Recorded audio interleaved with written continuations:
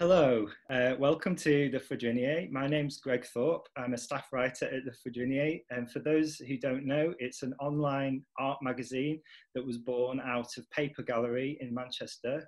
And the nature of the gallery kind of dictates the, the work that we cover. And we're interested in artists who are interested in paper. Um, and that can be in any capacity. It can be where they start or finish their practice.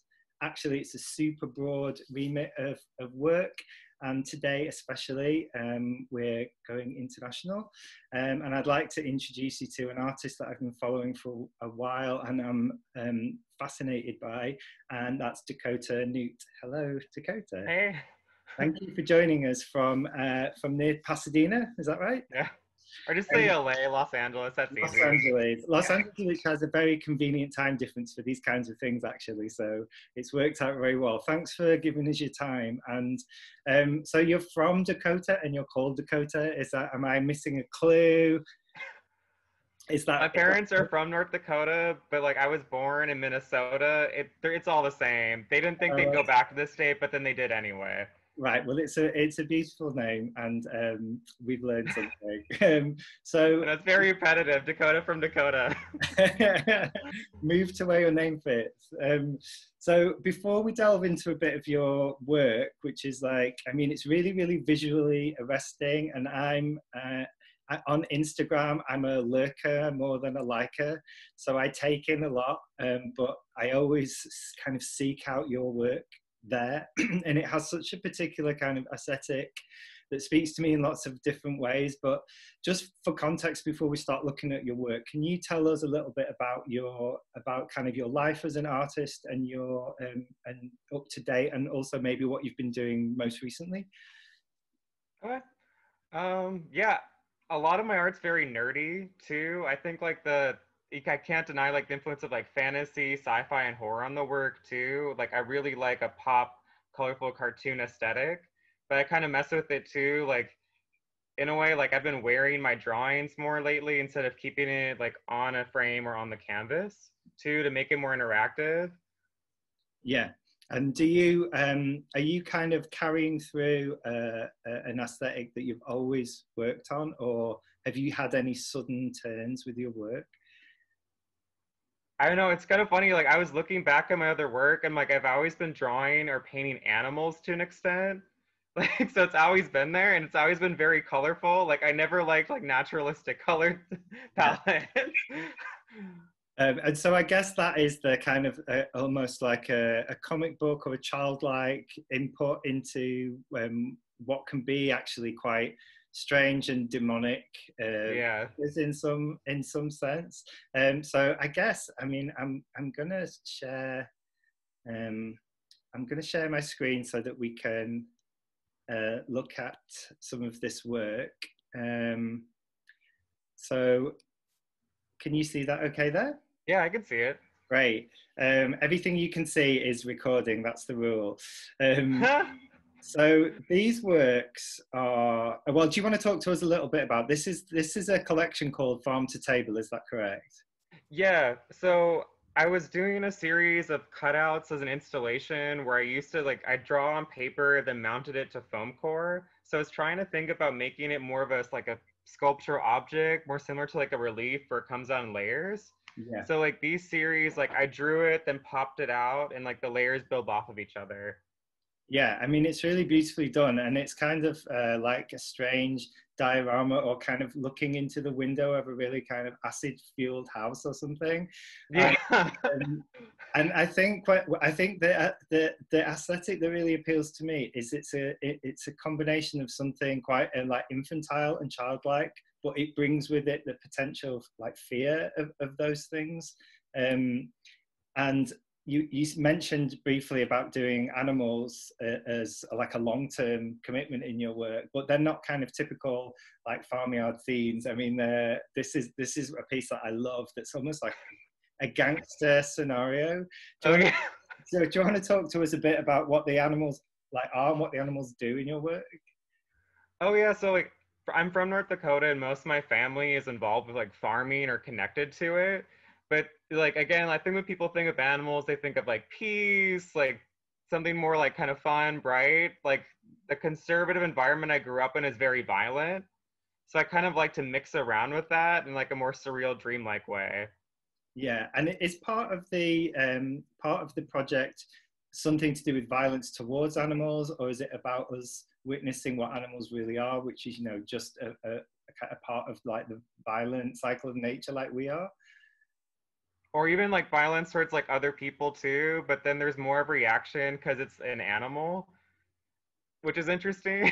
like some people would sympathize more with like the animal like getting harmed than the person getting harmed too. Yeah, especially like in rural yeah. conservative environments.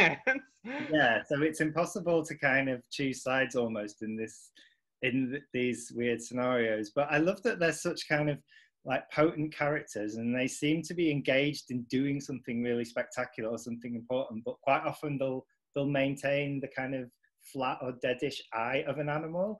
And so there's this weird disconnect between, you know, the personification and the, the crazy things that they're en- engaged with.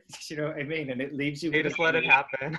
yeah, it leaves you with a really uncanny sort of feeling. So, was this collection for a, a gallery show, or do you work in series of works naturally? I usually work in series, like I don't consider it like a set for a show right away too. And even this one, it's like I kept getting interrupted with like other project requests. Right. That's quite nice, the reason to be interrupted though. yeah, I'm like, okay, I'll do something else for a bit. So these are kind of, and, and what scale is this? It's hard to tell. This is the one thing I'm missing from not attending gallery. Oh, so yeah. yeah oh God, I didn't put the dimensions on this. Like, um, yeah, these are small they're more of like maybe like a 12 by 14 they're okay. fairly intimately sized like you have to go up to them yeah and is that this is like the col- kind of colored pencil that you know that we might have used as as children but you've got a way of like shading and oh yeah i have like one right here. That's oh, this oh, is a super small one. Oh i love that. And then yeah, you can see like there's dimension. This is like my first one I did as a practice where like a bunch of pigmen are ritualistically like cutting a deer guy. Right. And actually, the kind of the the kind of cottage sized print scale of them makes you lean in in person, I guess, which is kind of a nice a nice physical response to them. Um, but in terms of like life size work, which you mentioned, um, I don't know where this kind of sits in your practice, but these are the pieces that I encounter most often, which just I just adore them, like the fantasy and the the um, the, like the the performance element i guess. So can you talk to us a little bit about these kinds of works? And this is on dakota's instagram which you can find at dakota noot. Oh yeah. So i mean this is probably like really my like favorite thing i'm doing so far too. It's kind of really rejuvenated me like during the lockdown. So like i was experimenting kind of back in the spring when things started like I had an installation that was just going to be cutouts, but then the show got canceled, and I was thinking of like what to do with it. So I'm like, you know what? It'd be kind of fun if I like divided it up and like did looks with it. Yeah. And then it started spinning off where I started getting like better ideas of how to do looks without even making like just like the cutout sculptural setup too. So I'm like, I could become a cartoon character or I could like kind of enact like a lot of like violence and very playfully on my own body. Yeah so actually um, what was what was a dilemma became a new sort of avenue.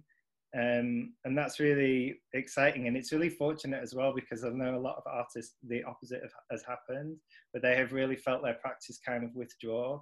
Um, i think this is like a real exercise in, in the opposite making a you know a new avenue out of a necessity. And I guess also I'm interested in like this. So there's a hybridness going on in your work between kind of people and animals, and you know that kind of morphing. But also like, what is queer about your your work as well? Would you say? And you, is that a conscious part of what you put in there?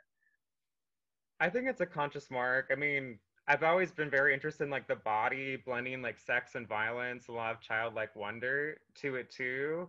I know it's interesting, like you pointed, like the eyes and the expressions, like they're always kind of just accepting what's going on or having fun with it, but they're not like freaking out or having like a really strong emotion. Yeah. Too. Like there's kind of an acceptance of like the body being transformed yeah and that, that and that's in that sense it, it, that puts us into their world because if they're not alarmed this must be like a thing that they understand. It's normal. Yeah it's normal for them. And so is it is it the, the kind of the bodily elements to you? So like the non-normative um, kind of outside of um, outside of gender and outside of heterosexuality that makes these works uh, queer for you yeah, I mean, I would. I also been really like fascinated by not using like. I mean, condition more traditional like gay male imagery uses a lot of like the dick hmm. too. I've been fascinated by like queerness that's more of like blurring of like gender or even species and like transforming the body too. Like that's why I give myself a lot of kind of like these breast like forms. But, yeah. Oh, like this one, they're kind of like a fusion between a breast and a testicle yeah. in like the shape. Yeah, I love that. So in that sense, they could they could potentially be like um, like a, a, different kind of human or humanoid. They could be us in the future. They could be terrestrial. And actually, I think what's what's most exciting to me about queer art now is that the queerness is around things other than sexuality. It is often about body, not necessarily gender, but certainly bodily. Um, and also, it's it manages to say serious things or pose potentially serious provocations in a really fun and playful way. And I feel like we lost that for a long, a long time. Um, but would you say that there's anything like political about about what you're doing? I feel like there's kind of a, um, you know, an in its violence, there's sort of an anti-violence thing, and um, there is yeah. there is an invitation to look at animals in a different way. Is is any of that political for you? I mean, it's interesting because like it's political because like the environment I come from, like North Dakota, this rural conservative thing, even though inspires me, like I draw from its violence, like the animal imagery and like what I experience. Like it's political in the sense of like they would never accept the work. Right. Too, you know, even though like it draws from them too, like I'm inspired by it in a way, like they would never accept it. So there's a lot of like like how they look at like gay queer people too like that gets projected into the work. Yeah. And i think there's always been a strong relationship with like the monstrous and with with queerness. And that's it embrace the monster. Yeah.